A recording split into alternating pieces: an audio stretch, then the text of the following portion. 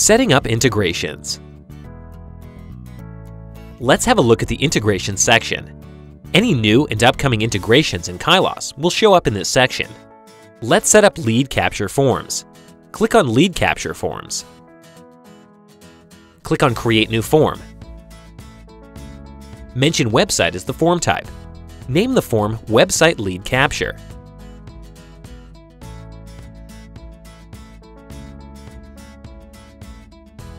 Add a greeting, hello there, and add a thank you note. And click Next. Add all the form fields that you'd like to capture. Choose customer name. Change the display name to name. Make this field mandatory and add. Also, let's add email as a field.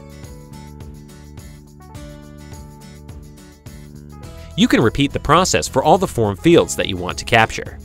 You can preview the form on the right before you click Save. You can now see the steps to creating the lead capture form on your website. Also, you can deactivate any form when needed or edit any fields per your convenience.